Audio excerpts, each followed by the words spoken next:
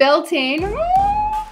I'm so excited. We're starting with a bang. We're to get right into it with the element of fire, the transformational, transmutative element of fire that can help you release old, outdated versions of yourself that you have outgrown so you can really step into who you're becoming now.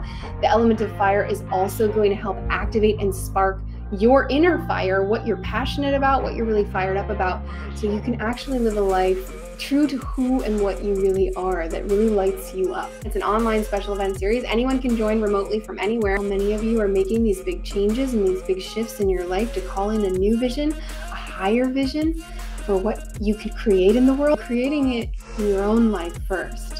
So, you know, my mentors always used to say that that was how this big change would come about in this time. You know, we're facing the great divide, prophesized who's choosing love, who's choosing fear, who's creating the new earth, who's getting caught up in the drama. It's always a choice, and it's never too late to just, you know, realign, resynchronize, come back and focus. Just one good idea, one good thought, one aha moment of inspiration, and you can really make it happen now. The, the energies are coming in to really support that. So we're sparking our inner fires, coming in strong with May. Even if you haven't felt strong before, I really urge you to, to push out of your comfort zone. Don't ever underestimate the bigness, the magnificence, and impact that your spirit can make.